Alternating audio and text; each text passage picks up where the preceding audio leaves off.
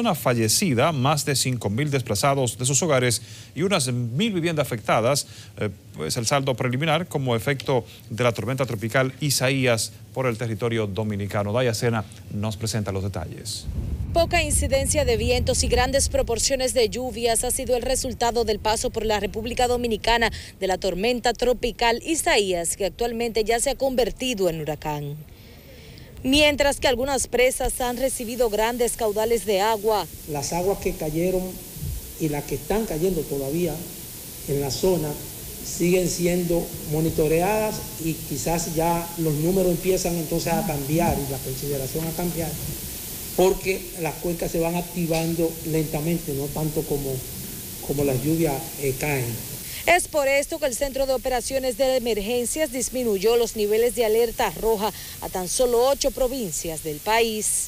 En roja continúa San Pedro de Macorís, San Cristóbal, El Ceibo, Atomayor, Samaná, Duarte, Monteplata, María Trinidad Sánchez. En amarilla es Payat, Montecristi, Puerto Plata, San José de Ocoa, La Vega, Sánchez Ramírez, el Gran Santo Domingo, Peravia.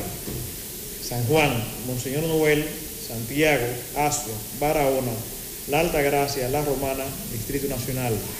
Cerca de tres albergues son los que hasta el momento han recibido personas de zonas vulnerables de la República Dominicana, según informó el subdirector nacional de la Defensa Civil, Delfín Rodríguez. Más tenemos activo actualmente solo eh, dos albergues en la provincia de Duarte, y eso es por la crecida del río Jaya.